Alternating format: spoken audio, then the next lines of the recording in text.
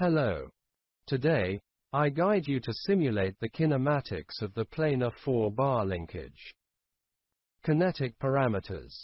Omega 1 equals minus 1 to 1. Geometric parameters. AB equals 1. BC equals 2. CD equals 1.5. DA equals 2. AB is the driving link. AD is the fixed link. Now, let's perform the AB link kinematics simulation.